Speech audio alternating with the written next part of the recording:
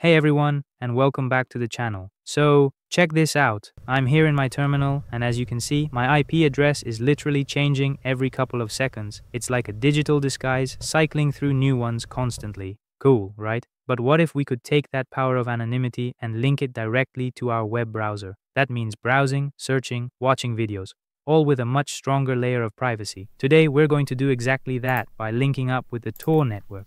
Now, the first step is getting Tor we need to type sudo apt install tor. It'll ask for confirmation, just type Y and press enter. Then start the Tor service by typing sudo systemctl start Tor and then we need to verify if it is running by typing sudo systemctl status tor. We can obviously see that it is active. Then we need to install pip. Pip is a tool you use to install Python packages. You need it for almost every Python project. Type this command and press enter. sudo apt install python 3-pip. This command installs pip for Python 3. Wait until the installation finishes. Once pip is installed, you install Python libraries with a simple command. Now let me show you how to check if pip is installed correctly. You use these commands in the terminal pip 3-dash version. If pip is installed, you see the version number and the file path on your screen. This confirms pip works and you are ready to install Python packages. Then you type python 3-mpip install tornet dash dash break dash system dash packages to run pip through Python itself. This method runs pip in a safer and more controlled way. The word install tells pip to download and install a package. Tornet is the name of the package you are installing. The flag break system packages tells Kali Linux, you accept the risk of modifying the system Python environment. This works because Kali Linux protects its system Python by default.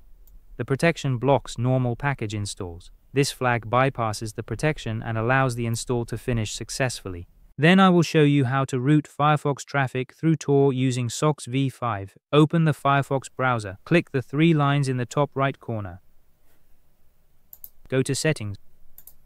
Scroll all the way to the bottom of the page. Under Network Settings, click Settings. In Connection Settings, select Manual Proxy Configuration. In the SOCKS host field, choose SOCKS v5. Type umachine's local address 127.0.0.1 as the address. Set the port to 9050. The local address in every machine is usually same as the address we typed here. SOCKS works as a tunnel for your traffic. The address 127.0.0.1 points to your own computer. Port 9050 is where the Tor service listens for connections. With this setup, Firefox sends traffic to Tor and Tor sends it to the internet anonymously. Scroll to the bottom of the window, check the option Proxy DNS when using SOCKS v5, click OK to save the settings. Let's get back to the terminal. In the final step, I run the command tornet space dash dash interval space space dash dash count space zero. This command starts tornet and connects it to the Tor network. It rotates the Tor IP every two seconds. It keeps running without stopping until I stop it manually. Now I open the Firefox browser, I go to check .torproject.org. This page confirms I am connected to the Tor network. Next, I visit dnsleaktest.com. This site lets me verify my IP address and see changes. Here is what is happening in the background.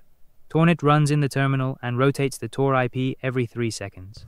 If you watch the terminal, you see the IP changing rapidly.